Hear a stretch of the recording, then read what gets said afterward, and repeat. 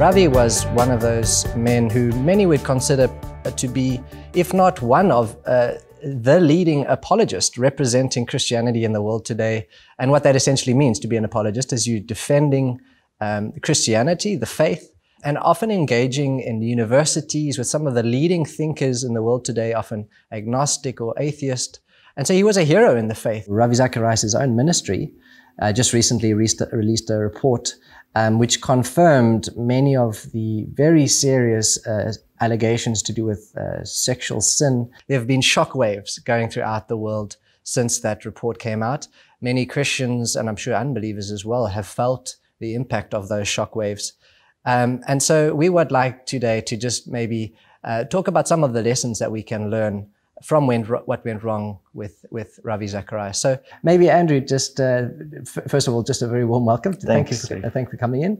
And uh, for those of you who don't know, Andrew leads uh, Four12 as a partnership of churches and my own church, Joshua Generation Church. Um, so Andrew, obviously, like for you, um, you're also a high profile leader in, in the church and maybe have experienced some of the similar pressures that Ravi has been through. Help a person like me who you know, um, has a massive respect for a man like Ravi. He's a, a, he's a, a fatherly figure, a man known for wisdom, a man known for representing Christ on the global scene, for preaching the gospel. You know, he's in universities. Um, he, has got an incredible reputation and a long lasting reputation. But now it's revealed that there's this incredible double life that he's been leading uh, and it, the, the mind boggles to think how it's possible that, that these two things can be true at the same time. Could you maybe shed some light on that? Yeah, I mean, I think the story of Ravi is so tragic. And I know even your own wife basically recommitted her life to the Lord through his ministry. Yeah. So, so many lives have been touched by this man and the incredible good things that he did. And then to hear the terrible things that have come out now has just created so many questions for so many. And I think the thing to realize is that leaders are people too. And, uh, you know, as much as we may have great ministries and even great abilities or anointings, it doesn't mean that we are exempt from sin. And the Bible is very clear, you know, the Bible uh, that we must flee from sin. Don't give the devil a foothold. And the danger is obviously be uh, Ravi at some point in his life opened the door to sin. There was an area in his own life where he was tempted. And the Bible says we're all tempted in every way. I'm tempted. I have to put to death the misdeeds of my flesh.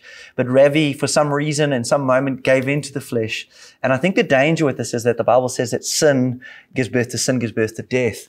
And so, um, Ravi obviously giving into sin at some point opens the door for the devil, opens the door for sinfulness in his life, and begins to do things that he shouldn't do.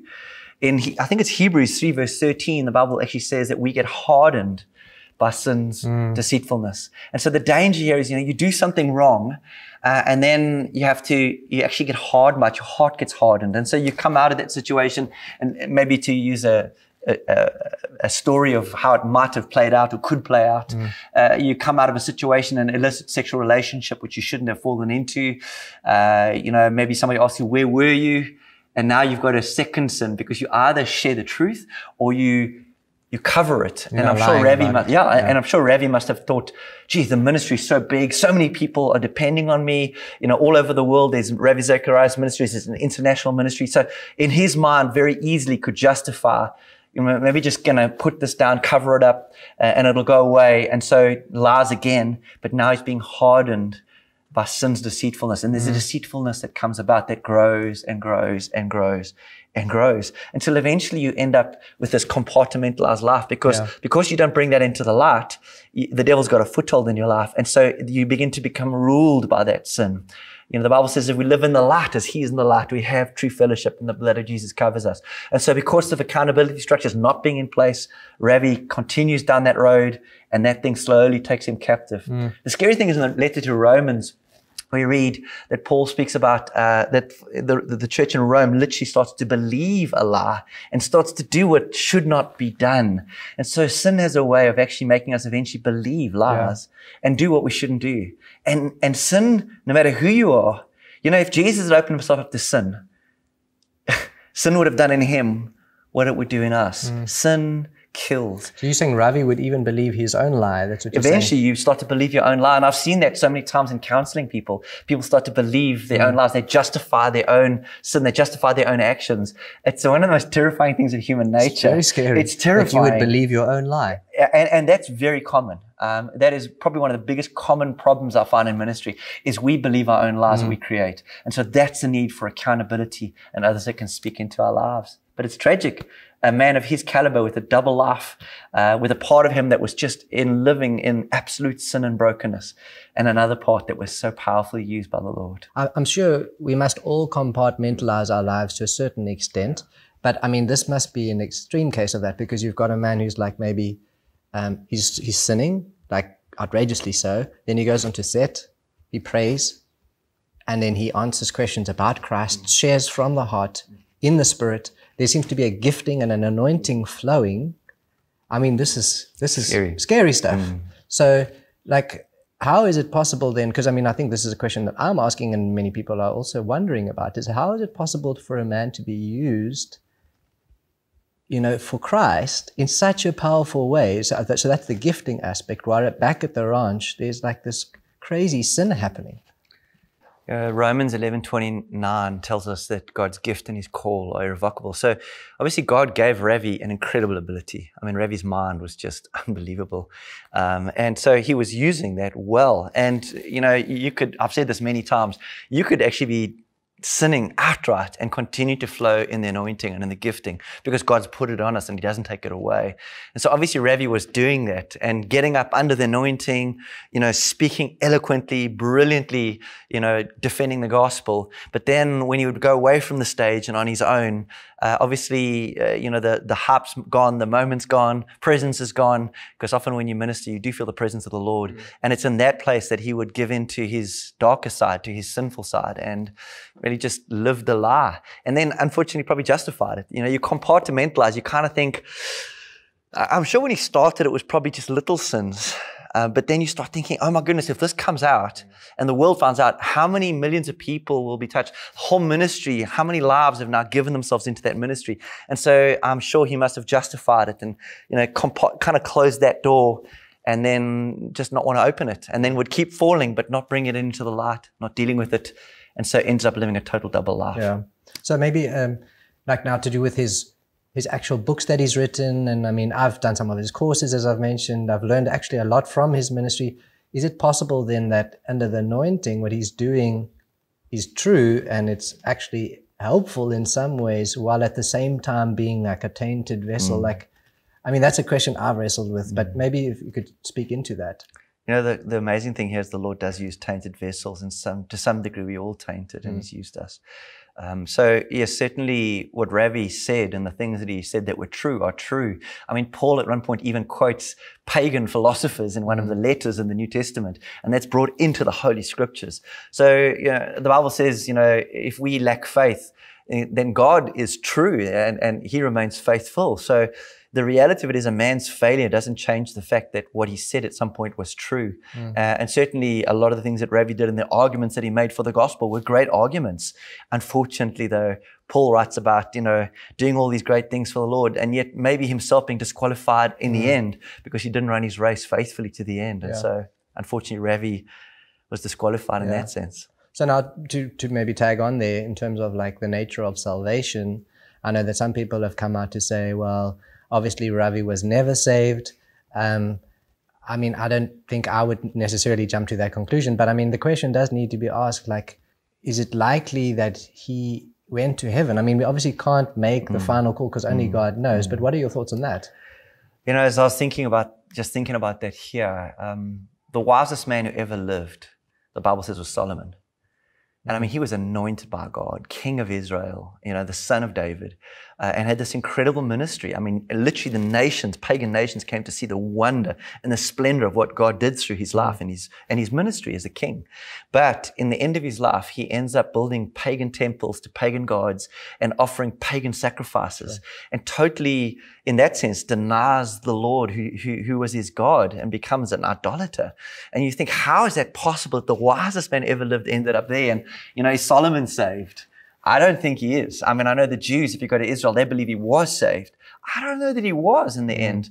Um, I, I, think he was, and so bring that back to Ravi, yes, the anointing was there. He did great things, but because those things happened in his life, was he saved in the end? I don't know. I do think he was saved at some point. There was enough evidence, I think, yeah. of of the love of the Lord, yeah. of a love for truth. Um, and I know he came out of a pagan background, an idolatrous background, and had Quite seemed to have a, yeah, a yeah. real encounter with the Lord, you know. But the, the, the speaks about the need to persevere in our faith to the end so that we can be saved. And Ravi didn't. He drifted.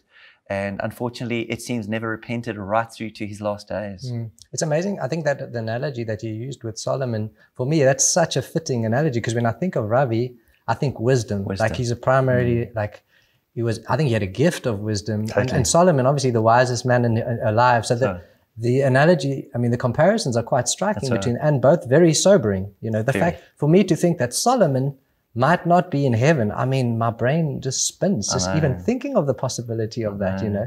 So that maybe let's talk a little bit then about like the fact that Ravi is in not to downplay his life, but he seems to be like one in a long line of high profile leaders within the evangelical church um, who had a spectacular fall from grace. So, so I, I mean, the inevitable question I think which people are asking is: Is there a problem within the evangelical church in terms of why does this seem to keep happening? What are your thoughts on that? Uh, you know, I would answer that yes and no.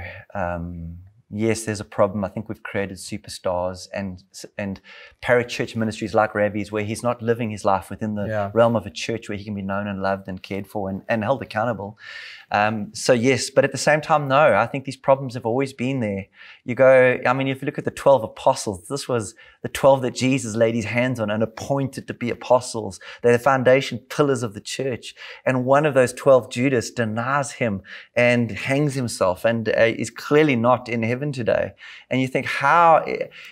So the danger in our world today is one out of twelve how many, because of the world that we let the world so small today, we have such access to so many. If you do the sums, we're probably doing just as well as they did then. It's just the reality mm. of that men fail. Uh, men are not as faithful always as the Lord is. And unfortunately, we, we do see um, and hear of many that are falling. That said, we mustn't forget that there's many that are running their race faithfully to yeah. the end. You think of Billy Graham, who recently mm. went to be with the Lord, and you know, never a shadow over his life right to the end, and, and, many others I could think of. So yes, there are failures in the church. There always have been, um, but that shouldn't change the way we see the kingdom and the, and the ways of the King. Mm. And for yourself, like I mean, I mentioned at the beginning that you yourself have a high profile in in Four12 it, with Ravi, I mean, I suppose the question is, it seemed like there was a different standard for him mm. as there was for everyone else on the team. Like they seem to have accountability uh, systems in place within the team, but Ravi seemed to have this untouchable sort of position. Mm. How does it work within Four12 and for you specifically? Like, what, what, what, how, how would you speak into that? Yeah, the danger with someone who really is, you know, effectively touching people's lives as Ravi did, is people do start to respect you and love you and give you a grace because you you're ministering such life to them, um, and there's a real danger in that. And I think every leader needs to be conscious of that fact and effectively build. Uh, uh, things around him to make sure that he doesn't fall prey to this celebrity profile thing, which which Ravi obviously did.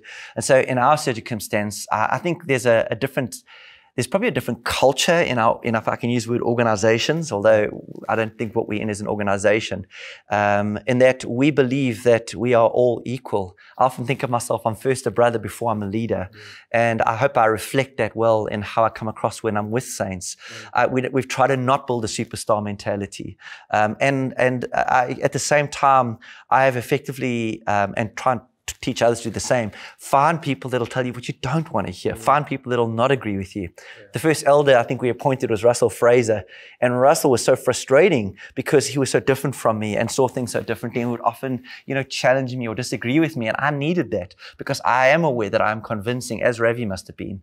And so we have to be very careful that we build effective uh, cultures that can hold everyone to the same account because we all are prone to sin. There's not one of us that eh, you know is exempt from these things. Yeah. And especially when you come into high profile, we need to have accountability structures in place to keep us safe. I mean, I've, I've obviously been on your team for a long time in terms of eldership, and I've been in your church for A very long, long time. time. Um, and I've, I mean, I've noticed that you seem to almost intentionally be like more transparent than most saints I know. Is that something that you is that something you've intentionally chosen to do because of you being in leadership, or what's behind that? You know, I live in a world where people struggle to trust. And there's a culture that I think is demonic that I'm part of that is just, you know, me, myself, and I, mm. me and Jesus.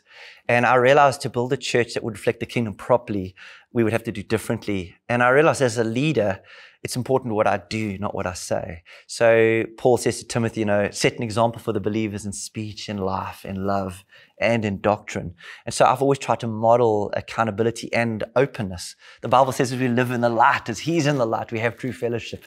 Uh, and the blood of Jesus covers a multitude of sins. So I've always tried to open myself up to public scrutiny. I've opened myself up to, my, you know, in terms of my failures to others so that uh, people can learn from my victories, but also my failures. Yeah. And try to keep myself accountable all the time so that um, I don't get led astray because the heart is such a deceitful thing. Mm. I'm terrified of my own heart.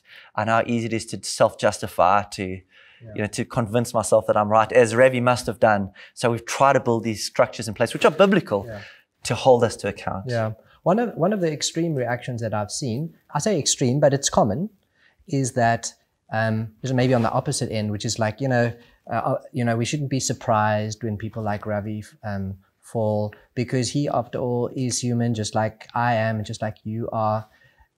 But that seems strange on in, in another sense. Like, are we, are we uh, unwise or um, naive to expect more from our leaders in terms of morality than we ourselves are living in? Is that an un, unrealistic expectation? Is that unbiblical? You know, I think one of the problems here, really, to answer this question in a bit of a roundabout yeah. way, is uh, the Bible says it's through the church. And when the Bible says the church, it doesn't mean anything it calls of Christian. It talks about the, the actual organism of the church, the, mm. the community of faith, the saints, the elders, deacons, the, the, the things that the church would have, which is uh, elders, and elders are in mutual submission one to another. There's qualifications, life qualifications mm. that should qualify a person. I think one of the biggest problems we face today is parachurch, which is organizations that spring up outside of the organism that God has decided to use, the church. And they become very effective, but they don't have this, the, the systems in place of safety. They don't have uh, the, the organisms of life, which Christ has brought about into the church.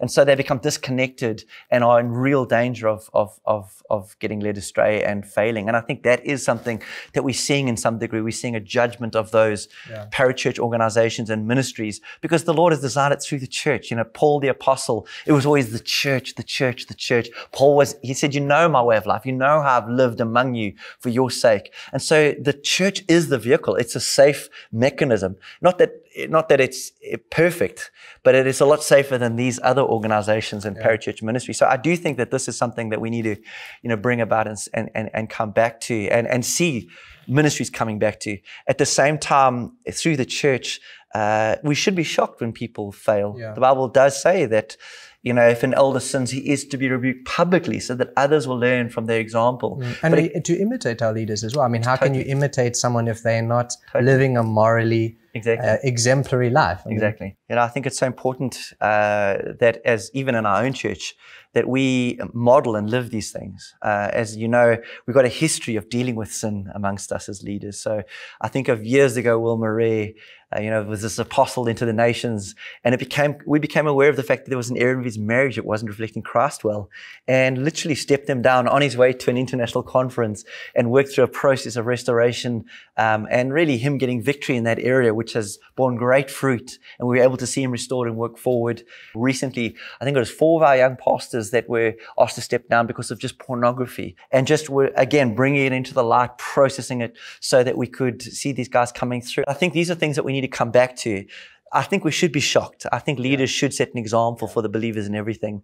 Um, but at the same time, in our shock, we shouldn't then overreact the yeah. other way and throw baby out at the bottle. Well, then I'm not going to trust any leaders. Leaders are going to fail. Mm. Um, but we need, we need to try and pick ones that'll hopefully run yeah. the race well. So maybe like to bring it back to the saint, and we can maybe end on this, is like for many saints, I think they'll be feeling like, well, you know, we called to a life of holiness. I know I've got a Holy Spirit living inside of me, yet we have these struggles. We have these wrestles with sin. It's a daily thing. I'm beating my flesh into submission, like Paul would say. And then you've got somebody like Ravi, he's like a father in the faith. Um, and, and if he can't win, how on earth am I going to? What would you say to encourage a person in that sort of situation that wanting to live a life of holiness? I would answer with He, Jesus, is able to finish the work that He starts. And he is he works so hard to bring us through you know and i think the lord he, he is incredibly kind and gracious. Uh, uh if we remain in him and we keep our hearts tender before him we we live the way he has asked us to live in terms of accountability you know within the context of a church in mutual submission we should actually be seeking out people to speak into our lives to help us gravit, you know, correct things in us, and so we continually grow in Christ likeness. He is faithful to finish what He starts, and there are many that run their race to the end uh, faithfully. In the early church, you see many of the letters written are, are, written to brothers who have drifted, you know, who have drifted away from the faith. The letter to the Hebrews. Uh, many of James and Peter's, you know, parts of their letters are written about false believers now that have, you know, drifted away or infiltrated the church. So yes, there will be those that fall away, but if we remain in Him, He wants us to come through more than we want to come through. Mm. And I believe the Lord keeps knocking at our doors, keeps disciplining us because He is faithful yeah. to finish the work that He starts in us. And so we can find an assurance in Jesus and we shouldn't be filled with fear. Yeah. But at the same time, we should have a little bit of concern and fear that uh, if Ravi can fall, yeah. then but by the grace of God go I. And so let me walk carefully with humility, uh, lest I fall in the same way that He did. Yeah. I think, I mean, it, there's no person that can walk away from the situation not feeling some kind of a healthy fear. That scripture which springs to mind, we mentioned it beforehand in the 1 Corinthians 9, verse 26. But this is Paul. Yeah. I mean, never mind Ravi. Yeah. So I do not run aimlessly. I do not box as one beating the air, but I discipline my body and keep it under control, lest after preaching to others, I myself should be disqualified. Yeah. I mean, it's so easy to read over that scripture so glibly, yeah. and uh, it's almost like a hypothetical situation which could never actually happen. But yet, I mean, in this situation, you realize that that actually is totally yeah. possible. That on yeah. the one hand, it's only by grace, and I have to press into grace, mm. like you were saying. Mm. It, it is impossible mm. to run to the end. But on the other hand, there's this healthy fear. Mm. Um, so maybe end with a word of encouragement in terms of for, for, it, it doesn't seem to get easier, does it? I mean this Christianity? Is it just me, or is it like a daily thing of wrestling with sin, like pressing into Jesus, and and ultimately trusting that He's going to bring me through to the end? Is it the same for you? Like uh, you've been serving the Lord for like a couple of decades longer than me. Tell me. I would say it gets easier and harder. Yeah. You know, it gets easier because you uh, the Hebrews talks about having trained themselves towards yeah. good yeah. or evil. And so we can train ourselves. There's definitely a sense of the more I do something, the easier it gets. Mm. So there's definitely a sense that the more I have victory over little areas of sin, so I start to I gain traction. And it's mm. like, wow, I'm actually, I'm growing in my faith. I'm, I'm growing in holiness. I'm becoming like the Lord. But at the same time, it gets harder. You know, I, I think of um, sometimes the pressures of ministry, which I know Ravi used as an example or a reason why he fail, failed. You know, often he would say to the ladies, for example, you know, this is my release. This, I've earned this. I, and I, and I think that the pressures of ministry grow more and more and more. I mean, every decision I make, I, I keep thinking, I'm an ex-drug addict that lived in a car for two years. I mean, I was this free, free spirit. Now, every decision I make changes and touches lives all over the world. It is terrifying and it's burdensome. Mm. And so Paul writes about this burden that he carries for the churches. And sometimes that burden, if not careful, carefully, can actually cause us to even sin. It can cause us to even mm. just want to escape. Uh, and so I think it gets easier and harder. Yeah. But we've got to trust that the Lord is able to finish the work that He started in us. And look at those that did finish their race. Paul did finish his race well. He ran to the end. Peter failed, but came right and repented and ran to the end faithfully, you know. And so we can look at them and others in our day who run faithfully to the end and say, Lord, you're able to keep me. Mm. But at the same time, I look at Ravi, I look at Judas, I look at Solomon, I look at many that didn't. Nicholas, the early deacon in the church who it claimed started the Nicolaitan heresy. Lord, keep mm. me, keep me because you're faithful. Mm. Amen. Amen. Well, thank you so much, Andrew, for shedding some light into this topic. I think I'm feeling encouraged. and I'm hoping that you, watching this uh, at home, uh, have kind of grasped the soberness on the one hand, but also the encouragement that there is in Christ on the other hand. And I trust that this has been a blessing to you. Thank you for taking the time to listen to this episode of Be Equipped. Please like and subscribe in order to get access to more resources.